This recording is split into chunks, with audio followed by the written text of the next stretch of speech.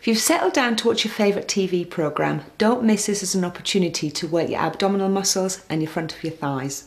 What I want you to do here is to sit towards the edge of the sofa, sitting up nice and straight with the shoulders back and down, pull the abdominals in.